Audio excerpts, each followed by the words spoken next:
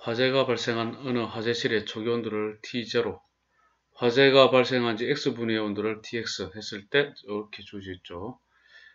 어, 초기 온도가 30도씨인 이 화재실에서 초기 온도 30도 T0 30이란 말이죠. 이거에 더하기 K 그 다음에 로그 8분의 9분 후에 온도가 240도 그 다음에 8 곱하기 X가 그럼 8분의 9가 되겠죠. 그죠? 화재가 발생한 지 X분의 후.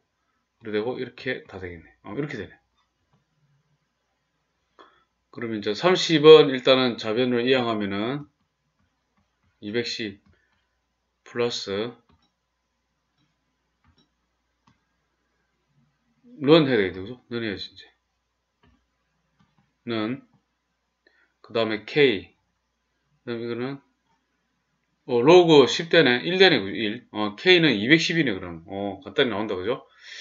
화재가 발생하는 온도가 660도가 되는 거, 660도가 되는 거, 처음에 30도였으니까, 그죠?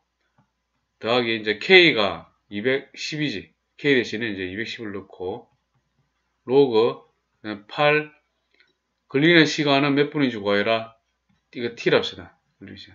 그럼 T 이렇게 넣으면 돼요. 더하기 1. T를 구하면 되는 거예요, 그죠?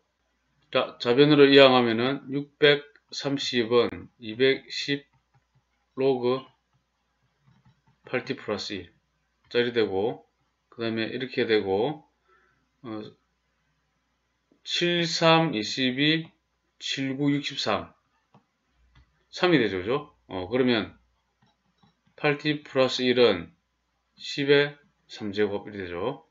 그럼 여기가 1000이 되고 8t는 또 1, 우변으로 이항하면 999 t는 8분의 999분 후가 되는 거죠. 걸리는 시간은 뭐 8분의 999분 후, 후가 딱 되면은 이게 660도에 이른다 그런 뜻입니다. 이만큼 걸린다 뜻이겠죠.